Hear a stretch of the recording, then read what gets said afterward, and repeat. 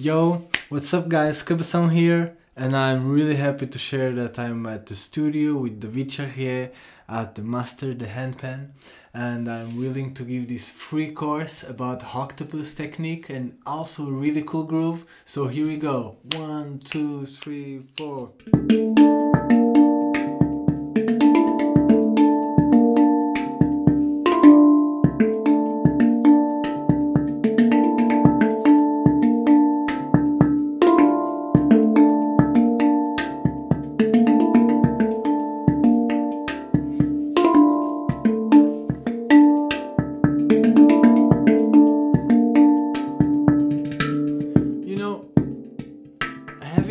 Like this is not really useful unless you dance. And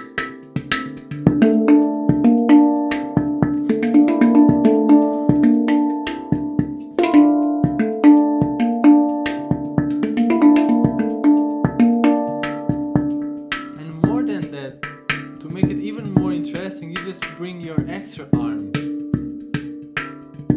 And to make it even more, you bring